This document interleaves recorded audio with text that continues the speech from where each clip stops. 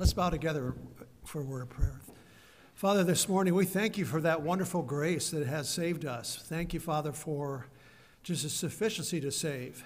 Father, we're here this morning to lift up the name of Jesus, our Savior, to magnify his name, the name that's above every other name. Father, thank you for just your great love for us, love manifested in sending your Son to uh, be a sin offering for us on Calvary. Father, thank you that he not only died for us, he rose from the grave, and he, he is living today. He's seated at your right hand, interceding for us, even as, as we're gathered here this morning. Father, we pray that you would bless our worship. Pray that you would help us to just really focus on uh, why we're here, the reason for being here, and that is to, um, as your people, worship your name and, and um, be unified in our praise of you. Bless this service, we pray, Lord. Just use it for your purposes. And Father, we'll thank you in Jesus' name. Amen. Please be seated. Good morning.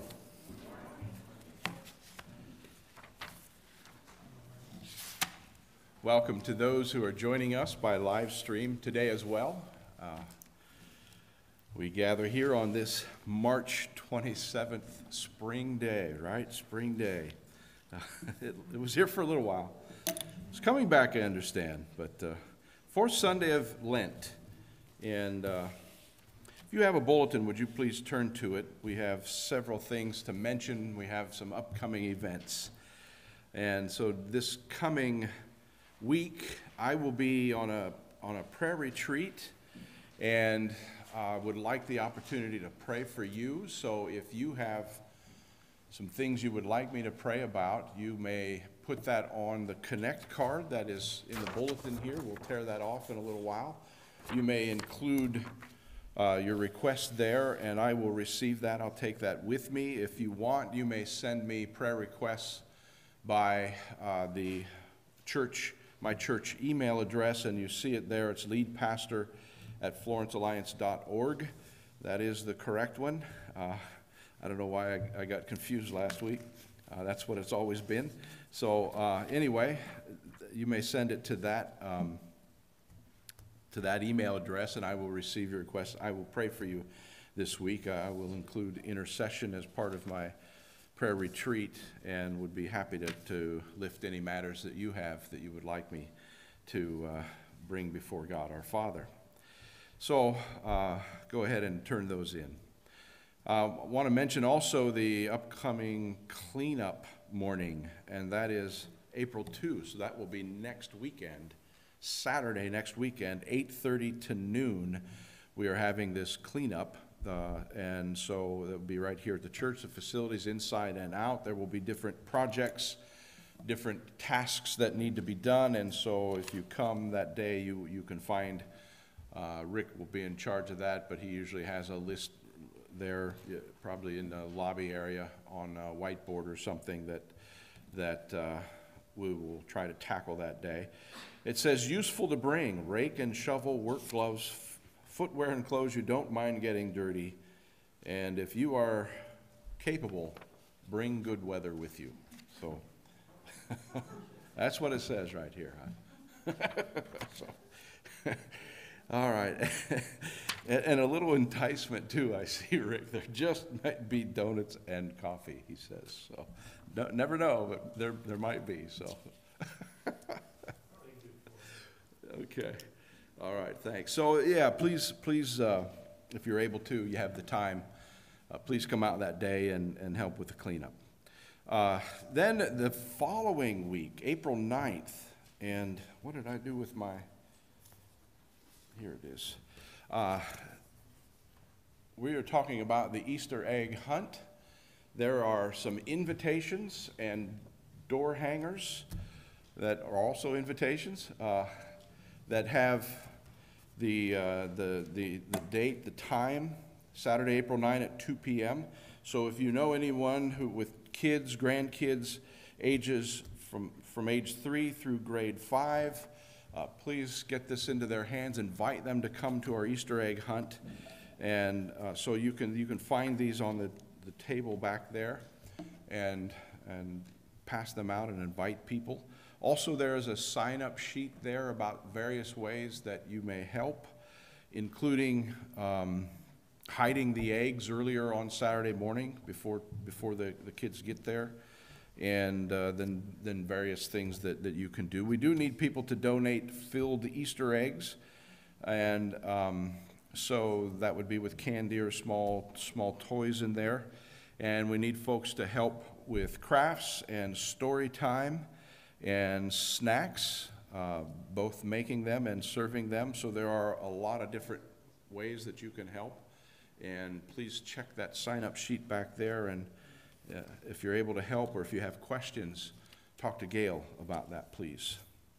Okay, and then a note again about Vacation Bible School. The date important, June 20 through 24. And then there are ways that we need people to help. Um, and so publicity, is that still in there? And, uh, and then Monday through Friday, okay. Okay, right, that would be Monday, June 20 through Friday, June 24. And, and, and then, of course, somebody to, to teach the Bible story this year. So, uh, talk to Megan and would appreciate your help. She would appreciate knowing now so that she could plan the other things that need to go along with that. So, all right, that's it for the announcements I have this morning. Would you take this Connect card, please? And put your name and address on it, the phone number, email, and then also your prayer requests here, especially those that you want me to pray for um, on, on my retreat. And uh, turn them in then at the appointed time to this inside aisle. Well, I guess when you complete them, turn them in here to the inside aisle, and then we will collect them at that point. So Marty is going to come as you fill that out. Marty's going to come and um, he's going to lead us in our scripture reading this morning. And the scripture reading is Joshua chapter 5, verses 9 through 15. And if you are wanting to use the Bible that is in a chair in front of you, you can pick that Bible up, turn to page 160, and the passage will be found there on page 160. So Marty's coming.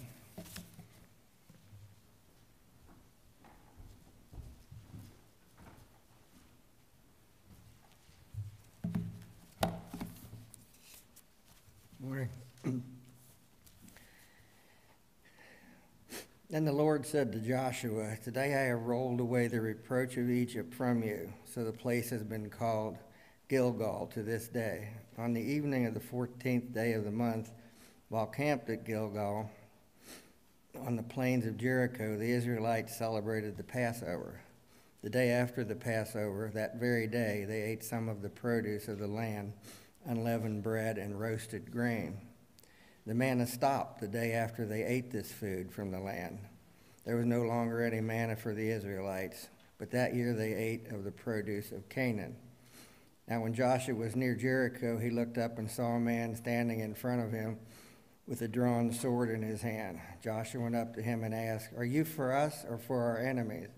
Neither, he replied, but as commander of the army of the Lord I have now come.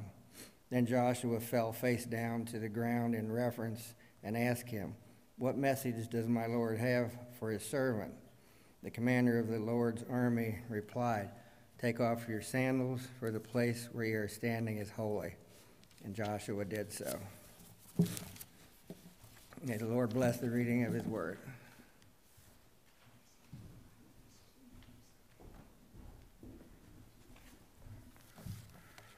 All right, for our missions focus this morning, you can find information there in the bulletin on the upper right-hand side. Uh, we are, again, looking at requests from West Africa, and uh, they are ministering to refugees in the area, and so we're praying with them for that ministry, and then again for Delco Alliance Church near Columbus, actually Delaware, Ohio. And so I would invite you to bow with me, please, as we intercede. Father, we give you thanks for this day. We thank you that this is the Lord's day. It is the day that Jesus rose from the grave, and so we mark it as believers as a day of worship and as, as a uh, sign of the, the new creation that Jesus brought into order. And so we honor you, Lord Jesus, on this your day, and we thank you for your lordship, your sovereignty, your kingdom that has come and is continuing to come to this earth. And so, Lord, we would ask that in our prayers you would use them to that end, that the name of God would be hallowed in all the earth, that his will would be done everywhere. And so we pray and we intercede for the spread of the gospel. We ask God for the gospel message to be clearly proclaimed and taught and demonstrated in various places, uh, and specifically today to, uh, to West Africa. We give you thanks for our Alliance workers who are there coordinating efforts with among uh, displaced people. Thank you for the national church that, are, that is receiving refugees, uh, for Christian schools that are receiving students. And Father, we pray that uh, as they open up their doors and provide food and clothing and uh, shelter, that you would use the national church and our international workers in order to bless those who are coming, to receive them from a, a very difficult situation and provide them with uh, basic means that would then also give them hope for the future. We pray, Lord, that in this ministry of love, that the Lord Jesus would be glorified, and as our workers uh, meet these practical needs, that they would have opportunities also to, to share for in, in the, the spiritual resources that Christ gives to us, and that many would come to know Jesus because of this. We want to thank you for an opportunity in the women's ministry to teach Bible.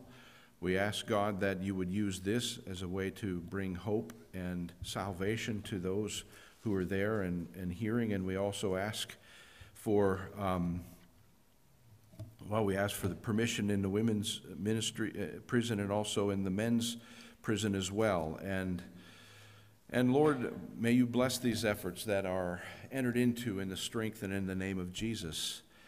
For our friends in, in uh, Delaware, Ohio, for Jordan McCain and his, his family, the Andersons, uh, Brad Gee and his family, and, and those who are gathered there. We, we pray, God, for your continued direction for them and uh, give them access to people there who need Christ. And we pray that you would help them to, to discern their area, their, their region, and where they can focus their ministry that would be the most productive.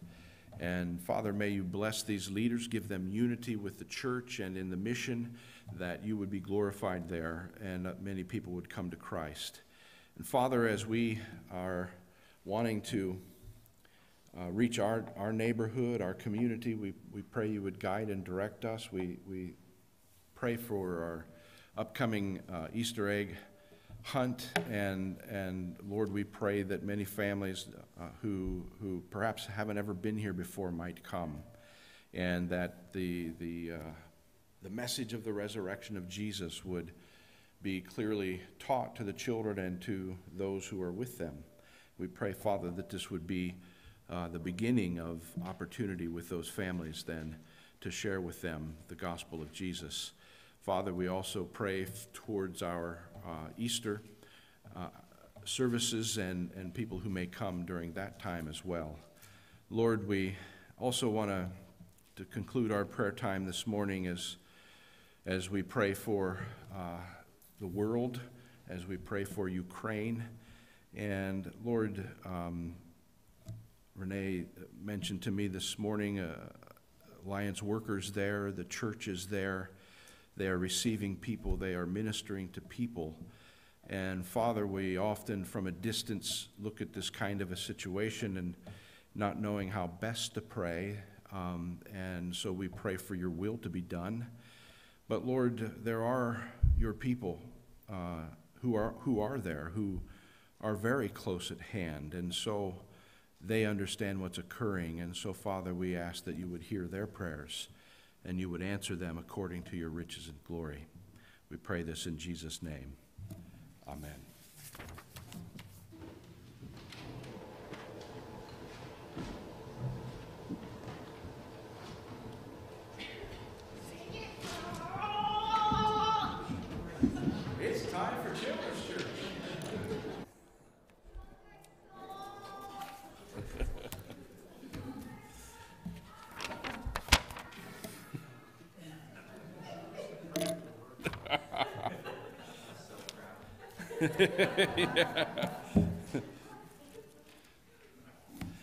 All right, we are going to turn in our Bibles to Galatians chapter 5. Galatians, the letter of Paul to the Galatians, chapter 5. We're going to look at uh, the last couple of verses there. And um, again, if you are using one of our congregational Bibles, a Bible you can find in a chair in front of you on the shelf, there's hymnals, there's Bibles. Find one that says Holy Bible. Turn to page 868 in, in that. Um, in that Bible, and you will find the passage here. It is a familiar passage, though uh, I guess you know it's it's speaking of uh, walking in the Spirit. Talks about the fruit of the Spirit, the deeds of the flesh, and um, we usually focus on on that part of this passage. But I, I want to look at the last uh, couple of verses there of, of chapter 5 and kind of a summary of, of the teachings there, but uh, Paul throws in these, these a few instructions to us right there.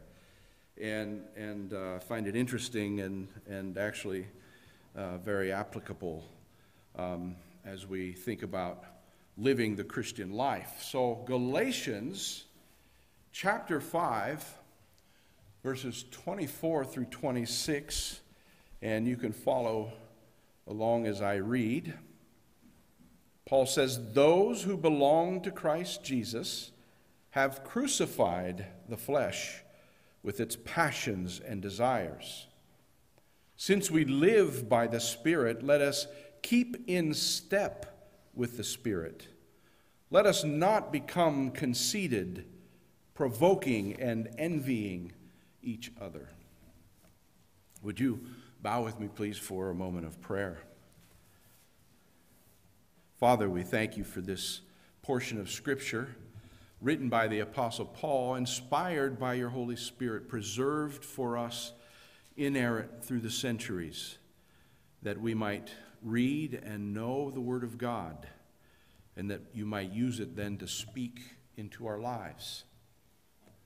We would pray that your Spirit would strengthen us in this moment, that you would enable our minds, our hearts, and our wills to join together with the purpose of obeying your voice.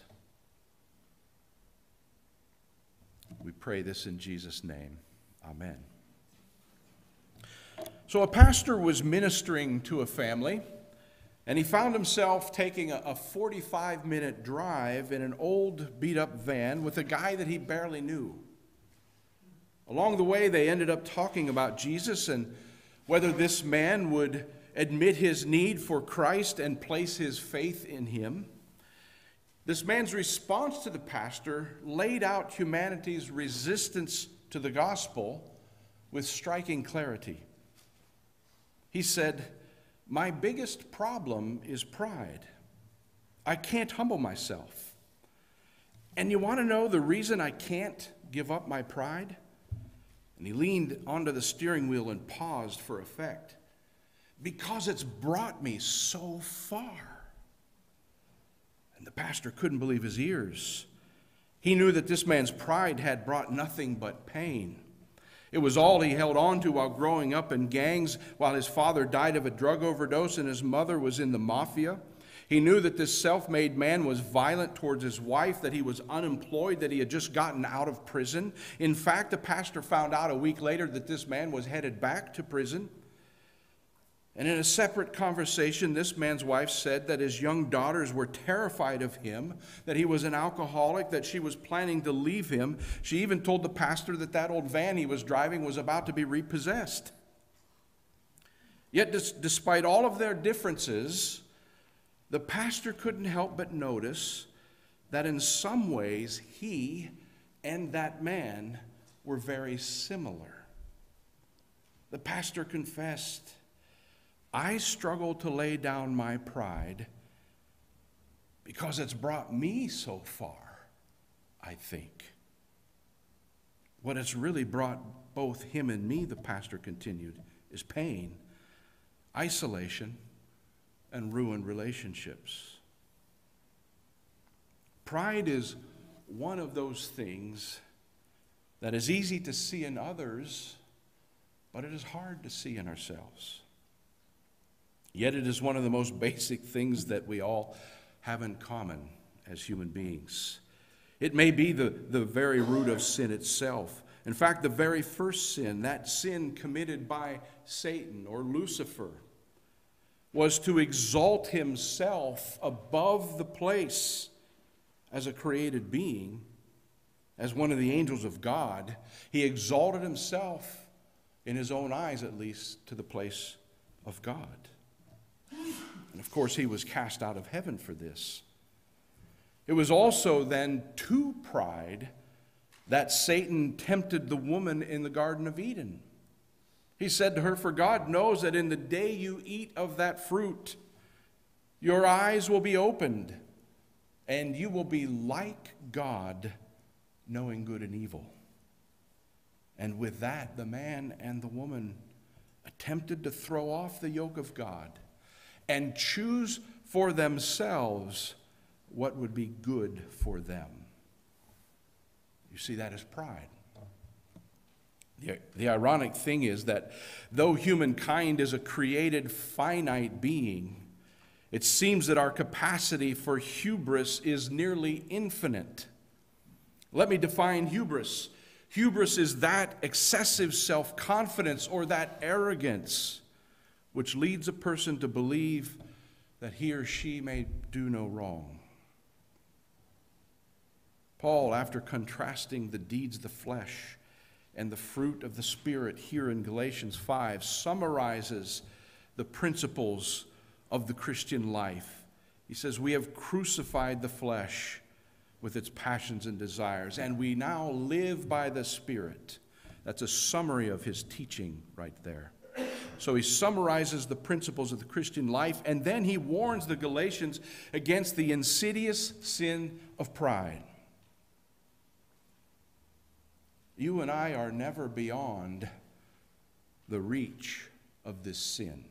You and I are never far from it.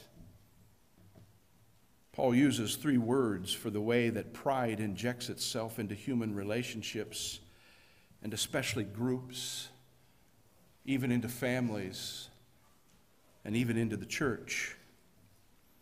So let's look at these three words as a warning for us to avoid the sin of pride. You have your uh, outlines uh, that were included in the bulletin. You can follow along there as we work our way through these, the, really one verse. Verse 26 is where we are focused this morning. But there we see that the first warning against pride that is given by Paul, we are to guard against being conceited.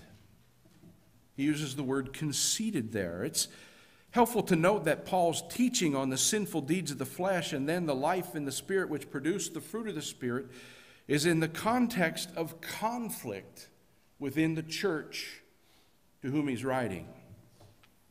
The instruction just before this section here on the fruit of the Spirit, uh, the instruction that came just before that was to love your neighbor as you love yourself. For if you bite and devour one another, you will end up consuming one another. That's in verse 13 of chapter 5. So it's in that context that he launches into his teaching on the deeds of the flesh and the fruit of the Spirit. And then following those well known instructions, he concludes with this instruction uh, about guarding against pride. The life of the Spirit is not given for our own personal piety, but so that we may love one another in the same manner as Christ has loved us. For this we need the power of the Holy Spirit. So, following up this teaching, Paul says, Do not be conceited. Some of you grew up with the King James Version of the Bible, that Old English translation. It said, Let us not be desirous of vain glory or empty glory. Another translation calls it boasting. And what Paul's talking about here is the puffing up of oneself, usually at the expense of another person or in relation to another person. The example from the Gospels that comes immediately to my mind is the brothers, James and John. Their mother, in fact, speaks to Jesus on their behalf and asks that when he comes into his kingdom, that they that, that Jesus may place the two brothers, James and John, on his right and on his left. These would be the positions of chief authority under Jesus. We mentioned the word hubris before. It is an arrogance that is oblivious to its own self seeking. That it's so oblivious, in fact, that it cannot see how prideful it really is. And in this instance with James and John, Jesus had just been teaching his disciples about his impending date with the cross, where he would give his life as a ransom for many on behalf of others there. James and John did not seem to hear that. They were looking out for their own self interest and would not rest until they secured their places of honor. This is an example of seeking vain glory.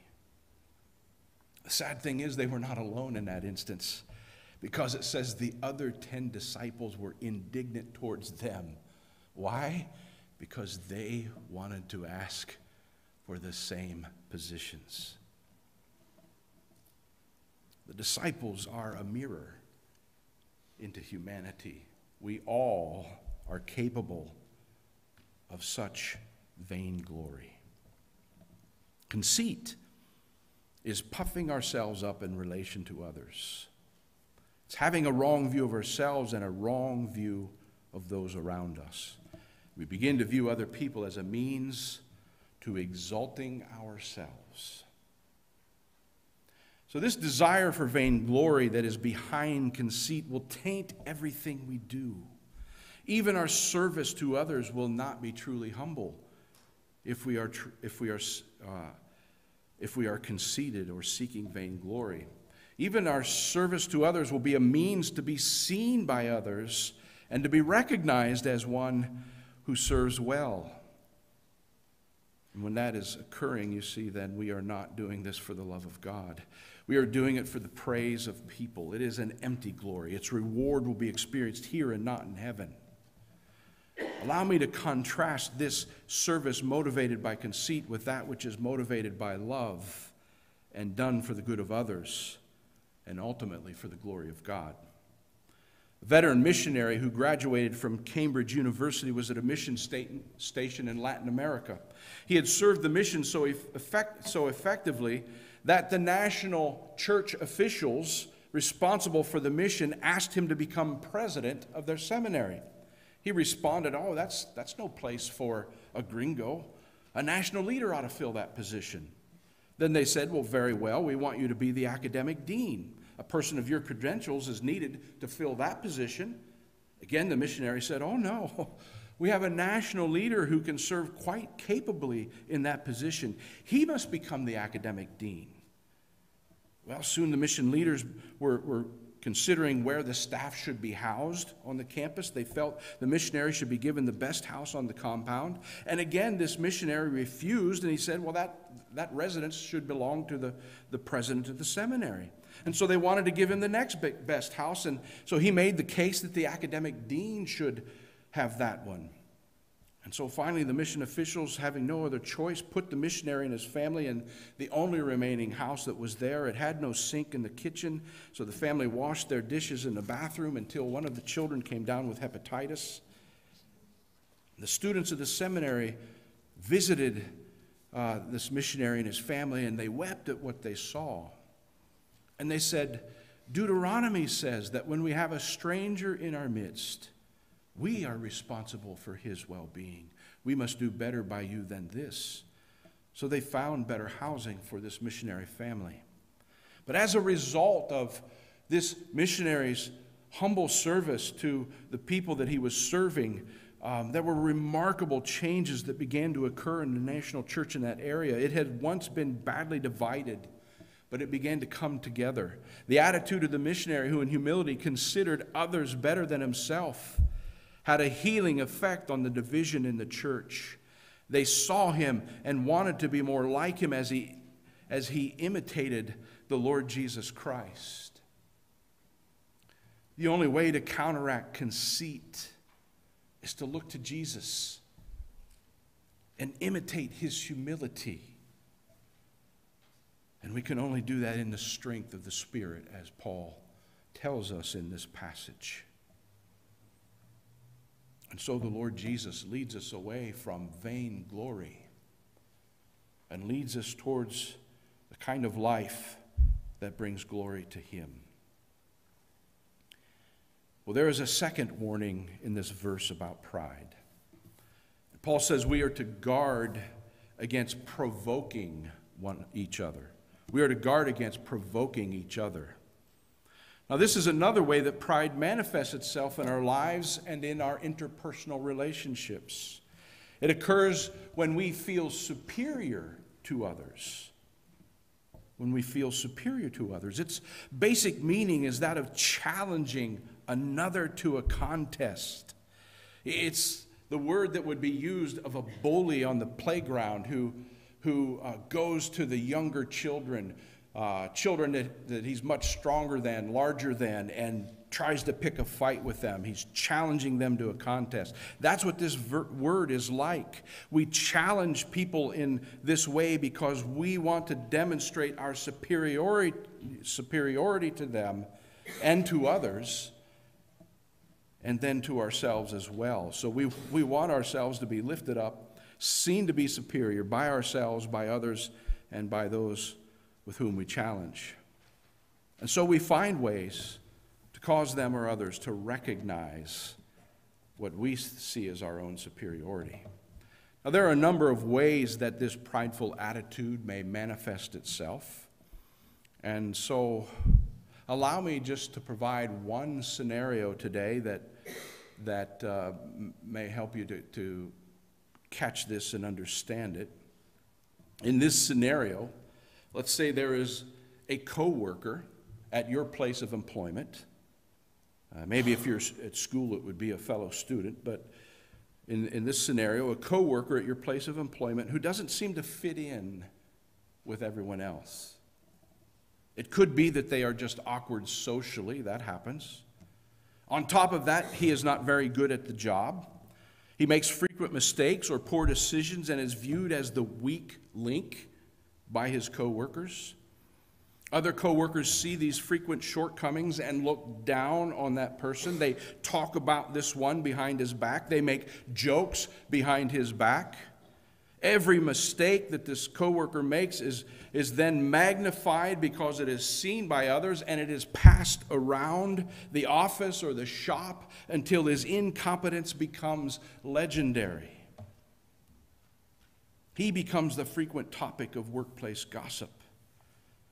Nearly everyone looks down on him and feels superior to him. In this case, that which Paul calls provoking isn't done directly to the person's face, but it is done indirectly behind his back.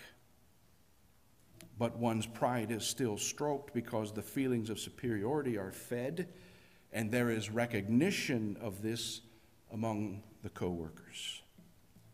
So this attitude of provoking spreads among the other employees. And that's not so far fetched, is it?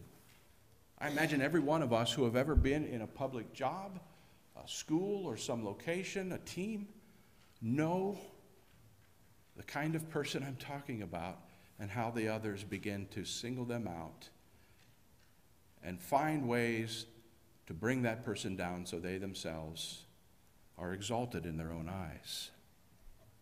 Now, as a believer and one who is called to live by the Spirit, what do you do in that situation that would be keeping in step with the Spirit? We're called to live by the Spirit. Paul says we need to keep in step then with the Spirit of Christ. What does a believer do? First, you need to have some empathy for this person's predicament. It may be true that that coworker is socially awkward, that that person is quite annoying often to be around. It may be true that he makes a lot of mistakes and is the weak link at work, and other people at work hold him in contempt and gossip and backbite about that, that person. But why should you, as a believer in Jesus, take pleasure in that?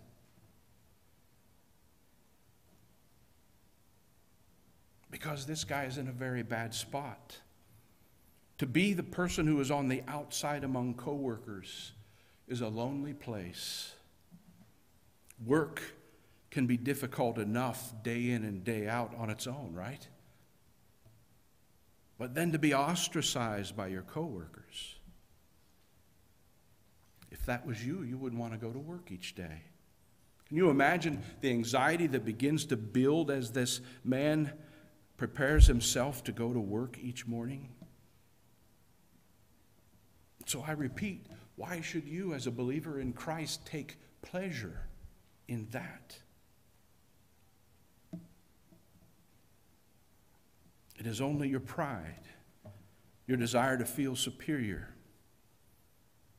and yet it comes at another's expense. That is provoking. This is out of step with the Spirit and is more aligned with the sinful deeds of the flesh as described by Paul in those previous verses. So I have a suggestion. Pray. Pray for your coworker each day as you drive to work. Pray that things would go well for him that day, that he would be able to find good things to encourage him there. Pray for yourself that you would be a kind person to him and then be that kind person. Refuse to join in the gossip and the backbiting. Find legitimate reasons to speak well of him to others so that people can see the positive things that this person contributes, as well as seeing his shortcomings. You take an interest in him, in his family, in his life outside of work. Ask yourself how you may be an encouragement to this man. For this would fulfill what Paul said in verse 13 serve one another through love. Now that is in step with the Spirit of Christ. We must resist in the power of the Spirit this temptation to stoke our own pride by feeling superior to others. Well, there's a third warning that Paul gives in this verse. And he says we are to guard against envying each other. We are to guard against envying each other. This manifestation of pride differs from the previous one, it differs from provoking. Provoking and envying are not the same. Provoking comes from comparing yourself to another and feeling superior to them. Envying comes from feeling inferior to others.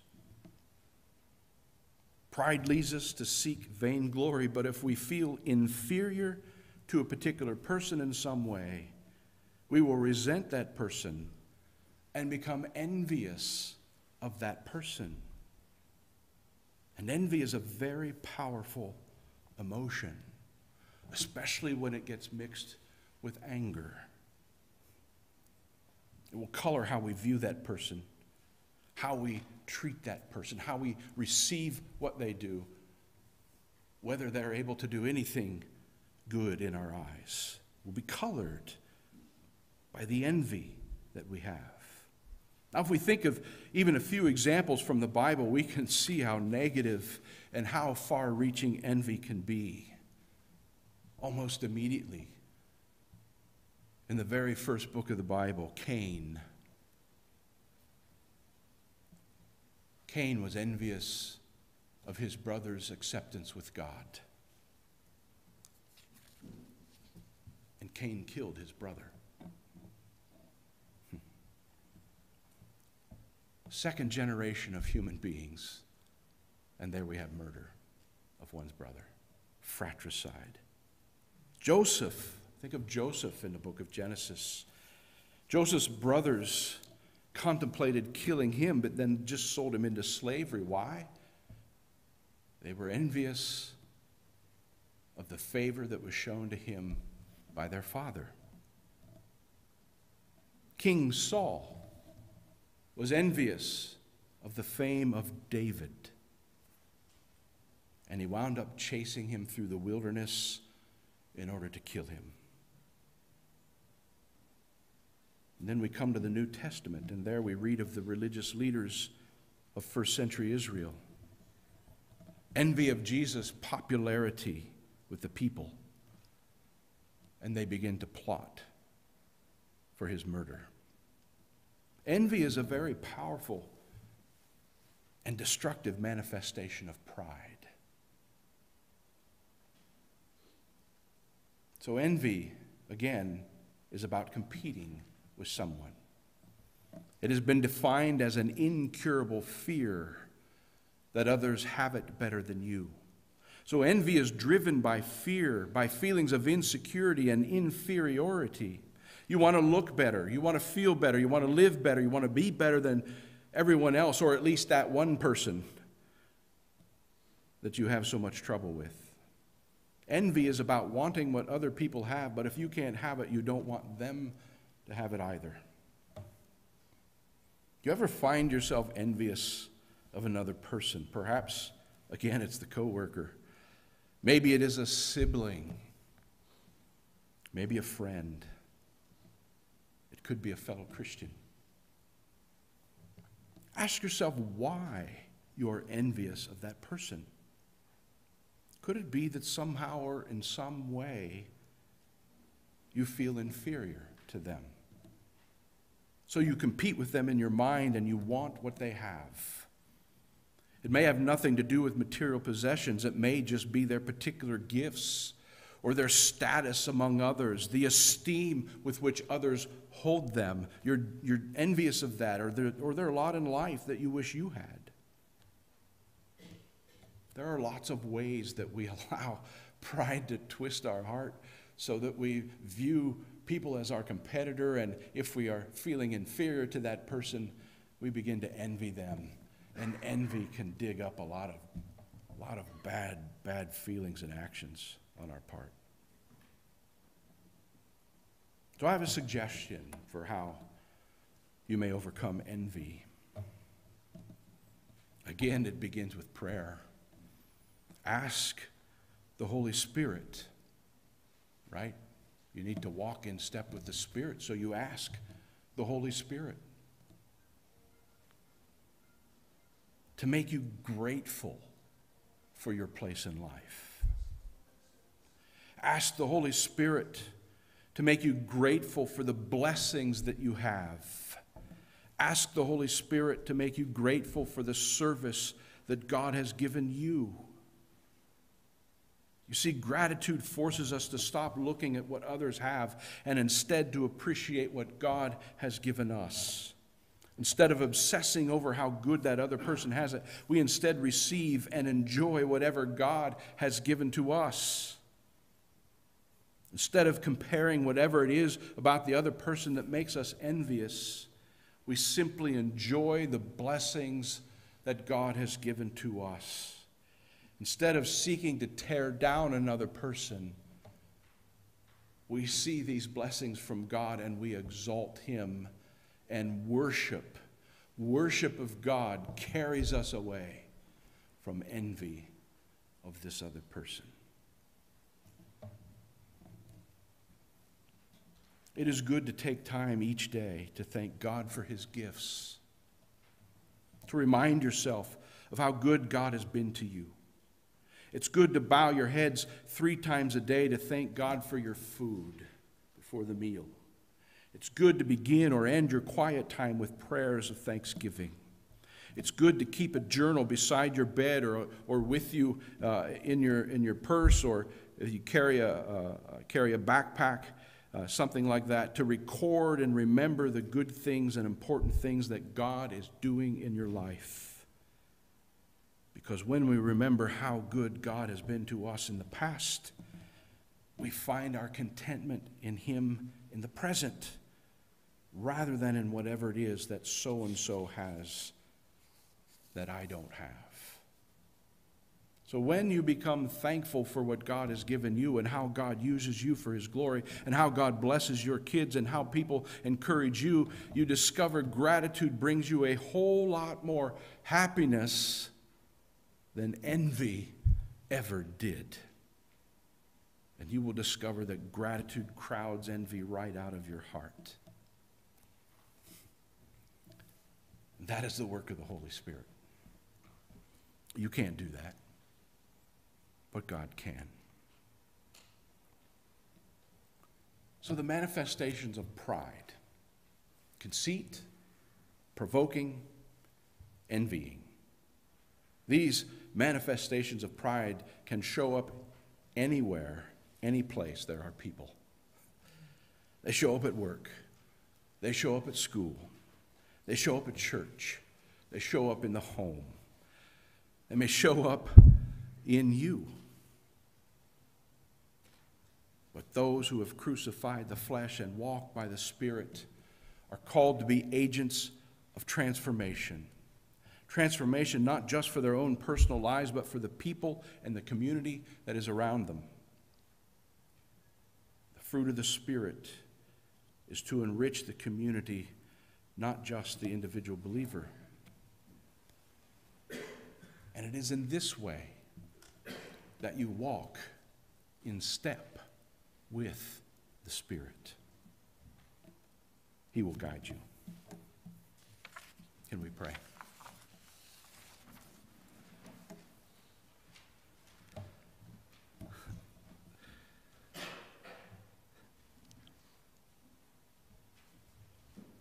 Oh Lord, this morning we have been thinking not about someone else, but about me. Everyone sitting here. Thank you for your word, Lord, that is able to discern the thoughts and the intentions of the heart. And Lord, without your grace, we would remain a mess. And ugly things like we talked about today would be the rule. But Jesus, you, you are the king. And we ask you to rule our lives with the kind of love and grace that you give to us that we might give to others. So, Lord Jesus, may your kingdom come. Your will be done in me today, even as it is in heaven. Amen.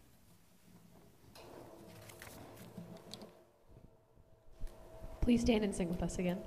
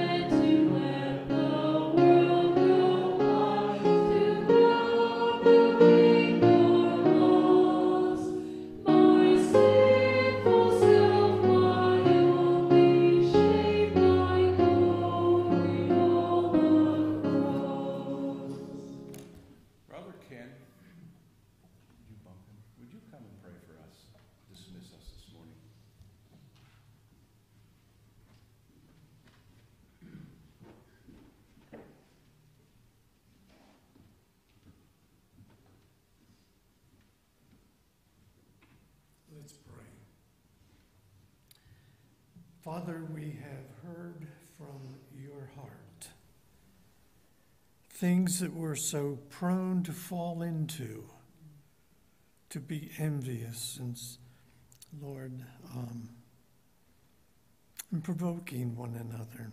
You want us to provoke one another to love. So, Father, continue to form in our hearts and in our lives the glory of your Son. May we see, even though through a glass darkly, that we're being shaped and formed into the image of your Son. Thank you for that which we've heard from you. We ask that it would bear fruit in our lives today and this coming week. We ask in the Master's name, amen.